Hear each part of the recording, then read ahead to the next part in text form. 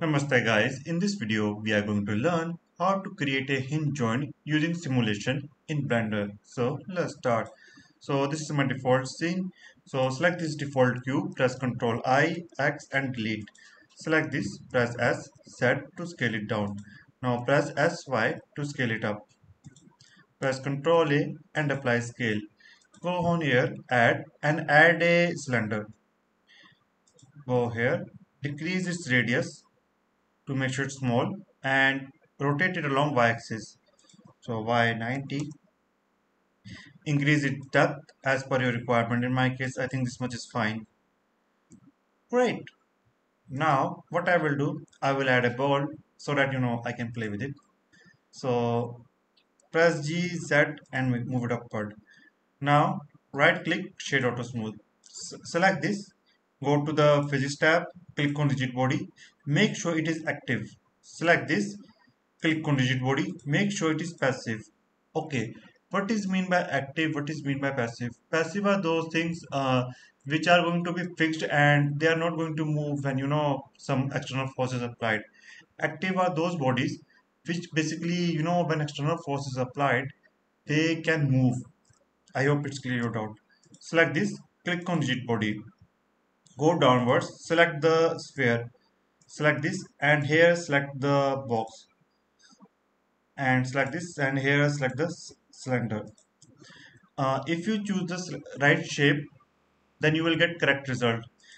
If you have you know an uh, unwanted shape click on mesh but mesh will take a long time. But as you can see that I have simple shape so no issues. Next step select these two by pressing shift. Go to the object click on rigid body click on connect. Instead of fixed click on hinge. And one thing you need to make sure for example in my case it will rotate along x-axis okay? So I will select this and make sure z-axis is along the x-axis because if not it will not going to be work properly. So select this press R Y 90 now if I click on play uh, select this press G. Okay nothing is happening. Let's see the issue. Uh, select this rigid body. Dynamic great. Click on this uh,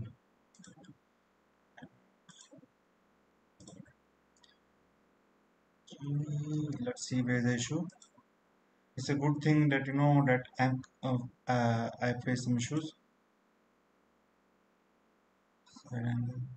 Center cube this should be passive. This should be fixed.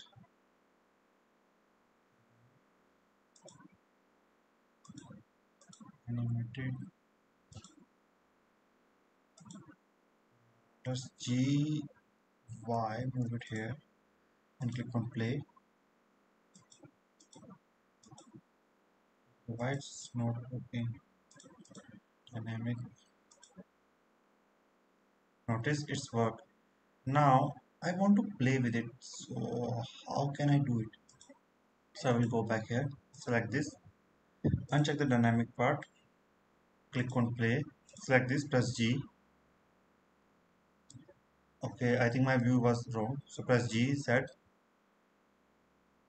Hmm Z now it's working. So I can you know play with it. Right now you can see G I can kick it. I can play with it easily with kicking. So with that you can you know play with it easily. And it's a good thing that you know you see what are the issues because when you make projects let's be frank guys we all face issues and we need to know what are the issues so that we can resolve one on own so in my case, the issue was it was checked on dynamic and I need to click on animated reality. After that, I need to press G and I need to make sure that it is in the correct plane. Okay. So if I press G, okay. Why it is not working again? Because I am not touching the box. Notice where is my sphere. So I have to correctly align the view. If I press G now, notice it is working. So the last time the issue was that uh, my body was not touching correctly the the box so in that way you can make the uh, hinge joint in blender so I hope you guys learned something from this video. If you have any kind of doubt and queries, feel free to ask. And oh, before ending this video, you can also do some cool things. For example, I will go to the constraints, select this. And if you want to define some angle, for example, minus 45 to 45, if I say select this GZ, so it will go maximum up to 45, minus 45 to 45 degree, nothing more than that. So that's a cool thing because sometimes you want the limit uh, how much you can go or not. So with that you can achieve it. So that's for all. Thanks for watching and have a great day. Namaste.